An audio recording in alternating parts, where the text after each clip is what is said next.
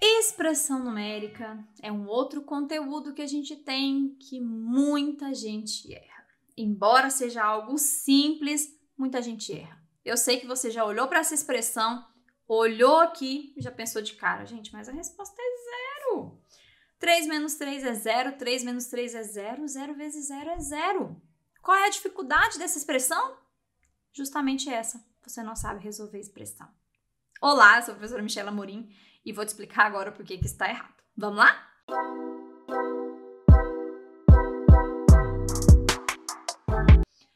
Expressão numérica tem uma ordem para a gente resolver.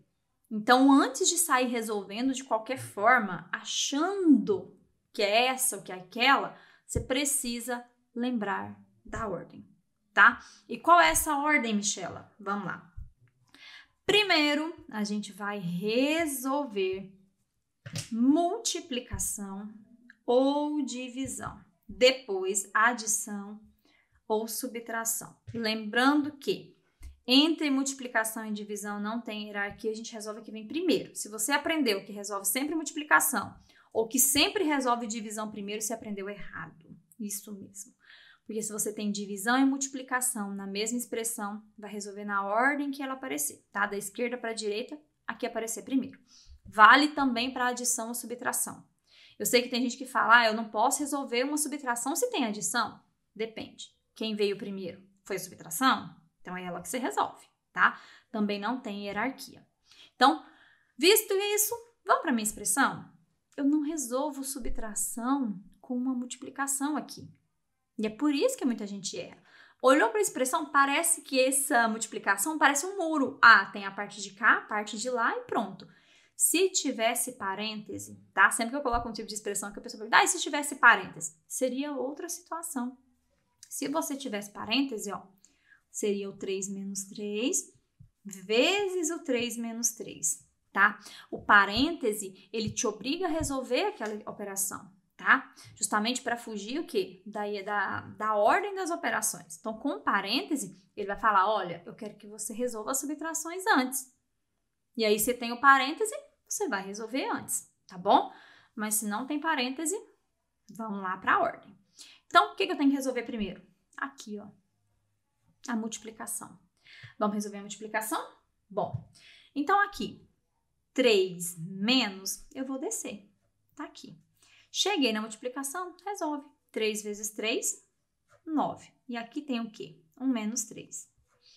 Agora, ó, eu tenho essa subtração, aquela subtração. Então, vamos resolver esses dois números aqui primeiro. Pode ser?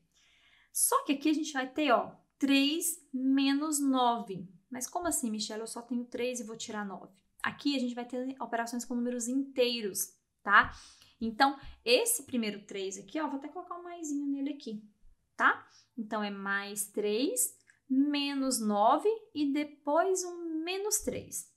Vamos resolver aqui, vamos juntar os dois aqui primeiro, ó. Ó, vou juntar os dois primeiros, tá? Mais 3 menos 9. Se os sinais são diferentes, a gente subtrai os números. Então, 9 menos 3 é 6.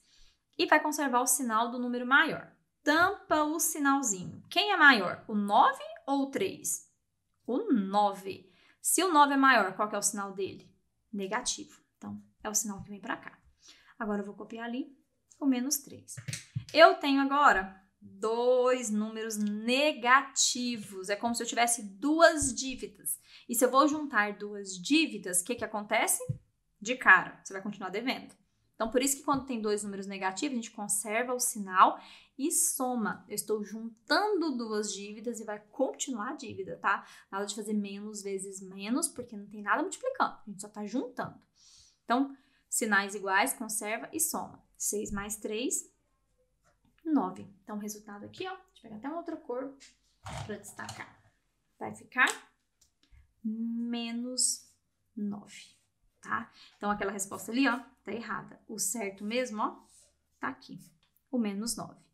E aí, muita gente pode olhar aqui para a expressão e já perceber o seguinte: se você tem aqui, ó, mais 3 menos 9, você vai juntar o mais 3, logo em seguida, desculpa, você vai tirar o 3. Então, se você acrescenta o 3 depois tira o 3, não vai mudar nada. Por isso que quando tem números iguais e sinais diferentes, a gente vem aqui, ó, pode cancelar.